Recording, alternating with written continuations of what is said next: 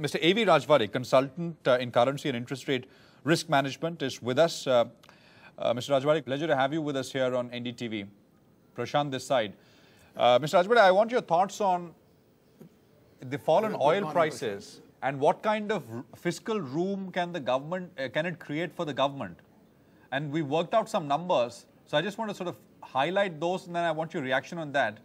Mm. And then we'll also talk about, uh, you know, what Dr. Rajan okay. sort of pointed out uh, after, in, a, in, a, in a post policy interview in which he talked about a crisis, crash, and then his clarification uh, where he said that I don't expect an imminent crash, but India will be tested once again when interest rates rise in the West. So it's all kind of related. Just bear with me for 30 seconds. I want to quickly highlight this uh, uh, point about the fall in oil. So simple uh, calculation actually. Uh, the graphics will come up on your air. Uh, so oil prices were 113 odd dollars on the day of the budget, now 103. A $1 fall in oil prices re results in a, a, broad approximate fall in, of about $1 billion in India's import bill. Uh, now, you know, we are sort of, we're looking at the fiscal deficit, uh, which was projected at about 5,31,200 crores, which is about 4.1% of GDP. Uh, $10, everything else remaining same, and that's the critical operative word, everything else remaining the same. It won't, but we're just assuming it, you know, at this point that everything else remaining the same. $10 falls means 60,000 crores as far as uh, savings is, uh, on the oil import bill goes. Uh, that uh, should result in the fiscal deficit coming uh, down by about 11, 11, point, 11 and a half odd percent or so. Uh, that 4.1% uh, fiscal deficit number automatically, everything else remaining same and oil staying $10 down from where it was at the time the budget was presented, the fiscal deficit won't be 4.1, it will be about 3.6, 3.7, 3. Point, actually about 3.6 odd percent or so. Uh, so it's, it's substantial. Now, again, everything else remaining the same is the operative word here. The simpler thing to look at is uh, not the fiscal deficit, but the trade deficit. Uh, you know, it, it, it's, it's a little more, there are a little lesser moving parts there as far as trade deficit goes. $10 means, I mean, 10%. 10% uh, drop means 10% drop in the trade deficit as well. But that's but we're looking at the fisc, which is of course the focus uh, for so many in the market. Rightly or wrongly, that's a different thing. Mr. Rajwade, your comments on this, sir? How would you look at it? Would you, would you believe that this would create uh, substantial fiscal room for the government? This can create? Well, uh, I think the two reservations which you made, that uh, the oil price remains at the current level, and the other assumption, of course, underlying all the numbers, is that the government had assumed the oil price to remain $113 per barrel uh, through the years. Now, that was the price when the uh, budget was announced, but what were the assumptions? Uh, at least I haven't come across those numbers. Also, the in general, the uh, Middle East is still an extremely volatile uh, region. You know, wars are raging in Libya, in Syria, in uh, Iraq.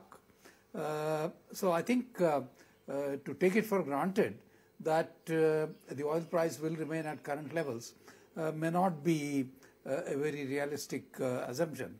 I think the second point, and which to my mind is very important, is that the ultimate numbers, I think last few years, we have been arriving at the ultimate numbers on the basis of a lot of creative accounting.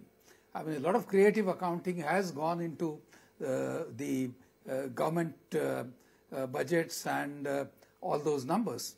you know, for one thing, the starting point, of course, is that government deficits and budgets are made on a cash basis, not on accrual basis. So merely by postponing subsidies to the next year, or uh, as uh, Mr. Chidambaram did last year, uh, he asked major PSUs to sort of declare interim dividends and what would have been revenue this year came in the previous year.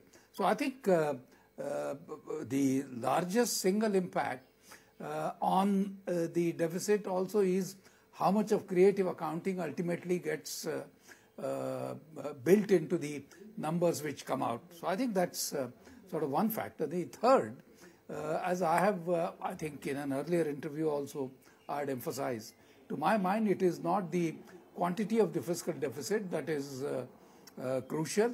The uh, total government debt as a proportion of nominal GDP has been coming down. I think the crucial uh, missing variable is the quality of the deficit.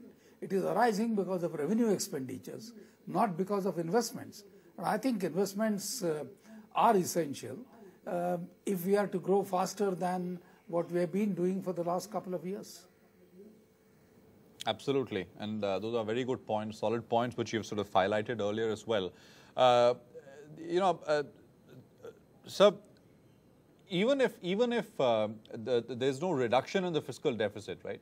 Uh, I just want to go back to that point uh, that for no great achievement of the government. Uh, by the way, the IEA yesterday cut uh, the uh, the the forecast for oil demand. so I mean, I guess that's good news for all, I mean, you know, for people who are hoping that oil prices actually correct. Yes, you know, countries like India. Uh, would, would this help uh, Mr. Jaitley stick to the 4.1% number? Because there itself, as you pointed out, I mean, there's so much jugglery and so many, you know, so many ways you can get to the 4.1%, but it wouldn't mean anything even if you got to the 4.1. But this would be pretty straightforward. If oil's down, uh, you know, you, you, you could get to that 4.1 without too much jugglery. Uh, I, I would uh, agree with you if it remained there. And I think, uh, I do not know what will happen in the current fiscal year, but overall, if you take a medium term view, say a five year view, I think there are greater chances of oil prices coming down rather than uh, remaining at the current levels. The principal reason to my mind is the fact that the US, which was the largest importer of oil historically for the last several decades, I think there the shale oil uh, uh, production is going up so fast that uh, uh, on a net basis, the US uh, will probably come to a zero level in a few years' time. So I think that's a major structural change in the uh, uh, sort of oil economy of the world. And uh, to that extent, the IEA, the International Energy Association numbers, I'm sure they're taking into account this fact that what was at one time the world's largest importer uh, may not need, may not become, may not remain an importer, net importer, uh, for a much longer time. So I think that's a is a major structural change in the uh, global oil economy. Of course, to some extent, that will be balanced by the fact that uh, uh, oil uh, consumption or oil and oil products consumption in all the emerging economies mm. continues to grow. I think is growing in China. Mm. Also, while price certainly is one aspect of our import bill.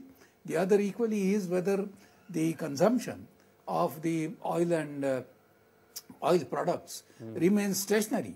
Now, right. each year it uh, has been growing, and I think it, uh, for the foreseeable future it will likely to grow. So, to that extent, the uh, fall in the deficit mm. would be tempered, but yes, on a medium term uh, perspective, one can expect that uh, oil, which is our single largest uh, import item, uh, the price is, there is likely to be a secular decline mm. in the global price of